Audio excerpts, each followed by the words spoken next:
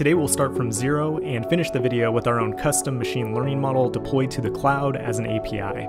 We will pull some actual user data that we have saved in the Firestore database. Then we'll export it to Datalab so we can train a Python-based machine learning model with virtually unlimited compute resources.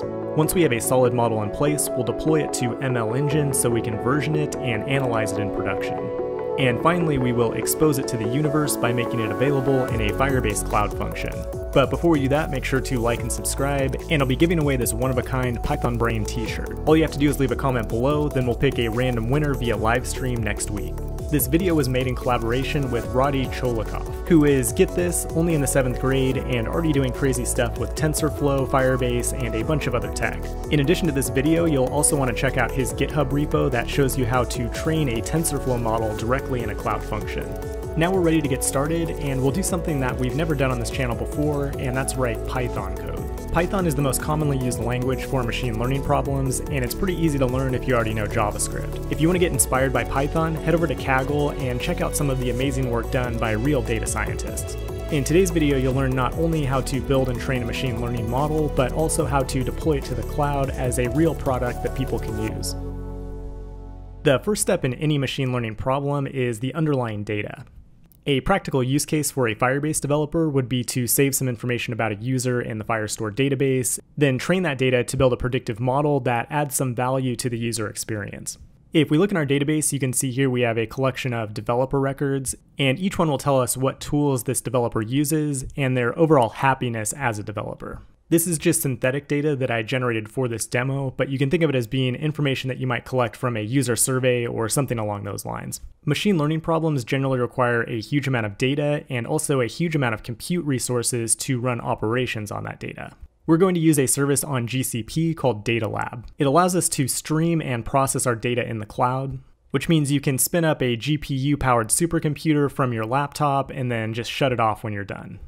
To get going with Datalab, you'll need to have a Firebase or GCP project, and then we have a couple of things to run here from the command line. Basically, you're just installing Datalab and then calling Datalab create with the name that you want to give it. What this does is give you an interactive Python or Jupyter notebook in the cloud that you can use to run Python code. And you can allocate as much CPU or memory that you need and also attach GPUs to it. The nice thing about this notebook is that it's tightly integrated with all of your other GCP resources such as storage buckets, BigQuery, and everything else. It should give you a link to localhost that will show a notebook that looks like this. The first thing I'm going to do is install Firebase admin by running exclamation pip install Firebase admin. Now, if you're not familiar with Jupyter Notebooks, they're basically just a nice UI for executing Python code. We can put each code block in its own cell and then execute those one by one by clicking the play button. You'll notice that there are a ton of examples in the Datalab environment, so definitely check those out, especially if you're not super comfortable with Python. The notebook we're building today does four main things. First, it brings in our data from Firestore, then we do an exploratory data analysis, then we split the data up and train an algorithm, and then finally export it to a cloud storage bucket. First, we'll need access to Firestore, so we'll go into the Firebase project settings and generate a new private key. That'll give you a JSON file that you can save in the root of the data lab. There are two dependencies that you'll see commonly in machine learning problems. One is pandas, which allows us to put data in a data frame, and the second one is NumPy, which helps us make scientific calculations on arrays. What we'll be doing in just a second here is taking our Firestore data and putting it into a pandas data frame, and NumPy will help us generate some random synthetic data that we can use for this demo. From there, we have a library called PyPlot that will help us generate some charts. Then we'll import Firebase admin and initialize it with our credentials. The process is basically identical to Node.js or any other language for that matter. This next part shows how I generated the synthetic data, and I'm not going to go through it line by line, but just explain what's going on at a high level. Almost all machine learning problems boil down to finding a signal that's hidden within some noise. So the data I've generated below is slightly random, but also has some structure to it as well. The value that we're trying to predict is developer happiness, so I started by giving every user a random happiness between negative 25 and 25. Then I have a dictionary with six different programming languages in it, each one that will give the developer a different level of happiness. And I also gave each developer a value of Firebase, which when true makes the developer much happier than when false. But the general idea here is that the data is partially random and partially fixed. Our goal is to create an algorithm that can detect which features are important and which aren't. In this example, Firebase should be the most important, followed by programming language, and then age shouldn't be important at all. If you have your own data in Firestore, you can just skip this step, and then in the next cell, I will actually retrieve that data from the database and then save it to a CSV file, so we don't have to reread it each time and get charged for additional reads in Firestore. Conveniently, Pandas has a toCSV method that we can use to just quickly save our data to a CSV file. So now if we come back to our notebook, we can just run pandas read CSV, and then the first thing I'll do is just sample 10 items from that data frame to see what the data looks like. Machine learning is not magic, and the first thing you should do once you have your data is run an exploratory analysis. The idea is to uncover some signals here that you can use to nudge your algorithm in the right direction. And the reason we put our data in a pandas data frame is because it gives us a whole bunch of methods to help analyze and also clean the data before it goes into an algorithm. So here we're running data frame sample to just get 10 random rows out of the data set.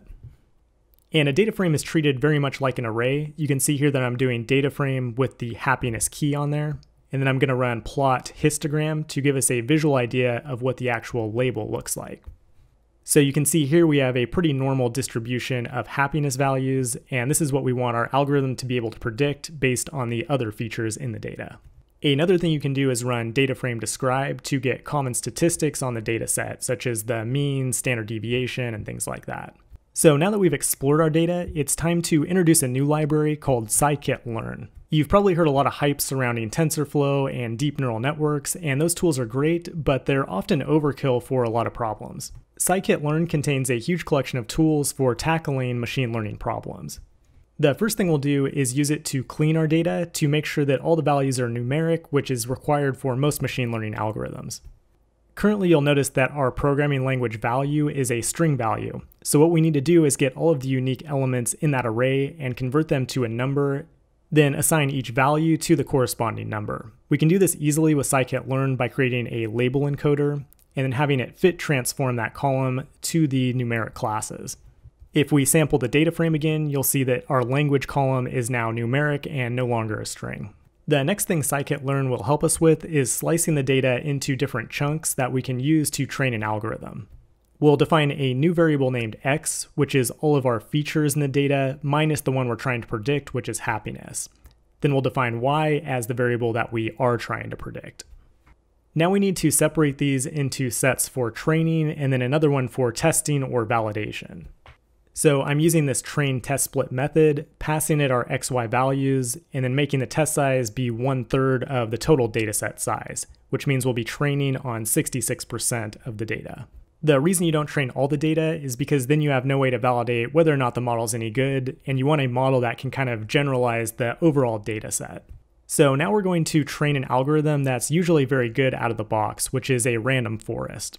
In our case, we have a value between negative 100 and positive 100, and the predicted value can be anything in between there. So we have an infinite number of possible predictions, which means we're dealing with a regression problem.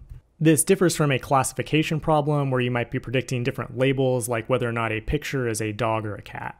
The code in this last cell is very simple. We just have the random forest regressor, which we fit to our X and Y data, and then we predict on the features in the test set of that data. There are a bunch of different options you can pass to the regressor to try to fine tune it. That's called hyperparameter tuning. And then you need to have a metric to analyze its performance. In this case, we're going to use mean absolute error, which means that our random forest model is about 18 points wrong on average. So how good is that exactly? Well, the best place to start is just by comparing it to a random set of predictions. In the next cell, we can see that completely random predictions produce a mean absolute error of about 56, which means that our algorithm is relatively effective. Now, the last thing we want to do is figure out which features in the data were most important in the decision-making process. As you can see here, the age was not important at all because it was completely random, and then Firebase and programming languages were the most important. So at this point, we have a predictive model, but we have no way for anybody to use it. If you're building a product, you most likely want to serve that up as an API so it can be consumed by some kind of front end application like Angular or iOS or whatever. And that's where ML Engine comes in.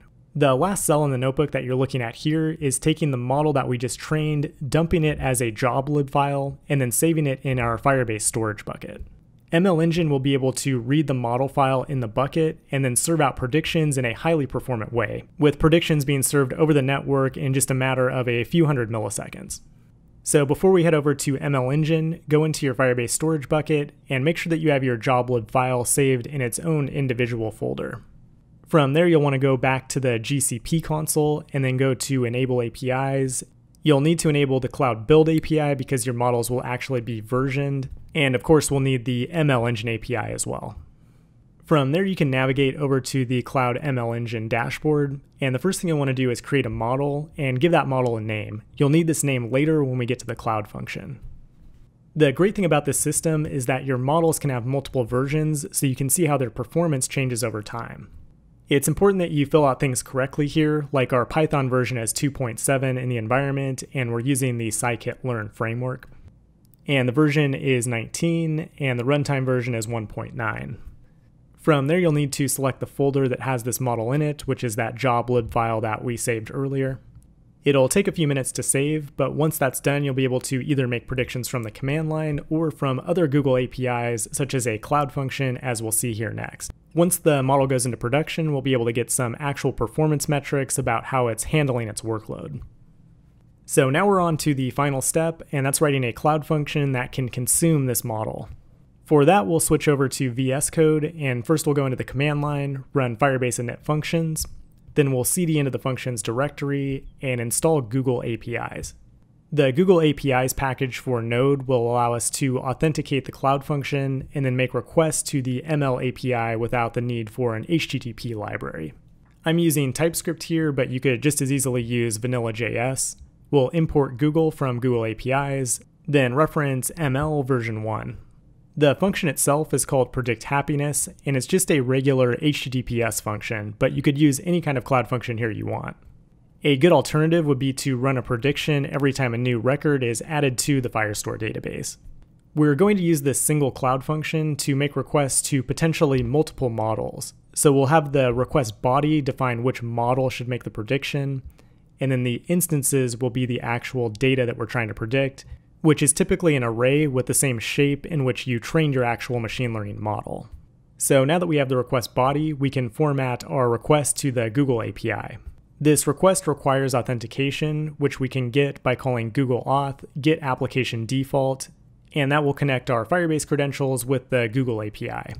From there, we'll set up a variable for the model name, which needs to have your project ID in it, as well as the name of the actual model that you gave it in the ML Engine console. And now everything is in place to make a prediction call to the ML Engine API. We call projects predict, pass in our auth credentials, the name of the model, and then also the instances that we're trying to predict. This can actually be an array of arrays if we want to make multiple predictions from a single Cloud Function call. And then TypeScript gets a little confused right here, so we need to add as any after the argument to predict. So that should resolve with the predictions from our model, and then we can send that back out as the response from this HTTP function. At this point, you could deploy this cloud function and you essentially have an API endpoint with your machine learning model, but we're just going to run it locally and then we'll test it with an application called Insomnia. Insomnia is a free desktop app that you can install, and it allows you to make HTTP calls in this nice user interface. So first in the JSON body, we'll declare the model name, which is developer happiness, for the instances, we pass an array of arrays, where each array is going to be a prediction that we're trying to make. So these values match the features in our original data set. For example, column 1 would be the user's age, column 2 whether or not they use Firebase, and column 3 their encoded programming language. Now if we send this request to our function, we get a response back in about 400 milliseconds that gives us the prediction from those instances. So each set of features sent from the request here on the left got a different happiness prediction from the response here on the right. In other words, we started with basically nothing, and now we have an endpoint in the cloud for our custom machine learning model. I'm going to go ahead and wrap things up there. If this video helped you, please like and subscribe, and you can find the full source code on angularfirebase.com. If you're serious about building a project with Firebase or Google Cloud, consider upgrading to a pro membership at angularfirebase.com. You'll get access to a whole bunch of exclusive content designed to help you build and ship your app faster. Thanks for watching, and I'll talk to you soon.